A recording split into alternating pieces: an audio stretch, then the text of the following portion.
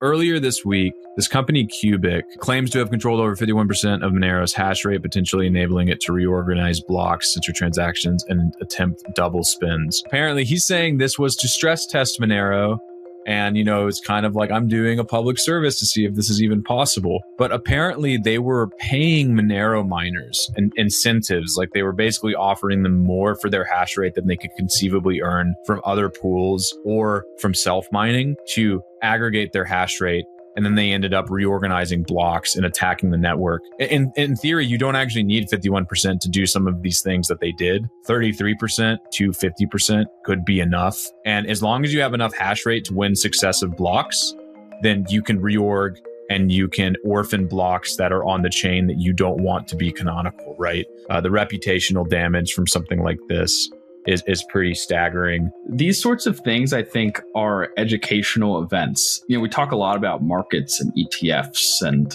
uh, regulatory developments, right? But some technical foundations of how the systems work. I feel like a lot of people don't actually approach until something like this comes up, and then you can talk about it and you can actually learn, like, oh, you know, this is what happens. This is how we would come to consensus in this type of situation. This is what power miners actually have in the system.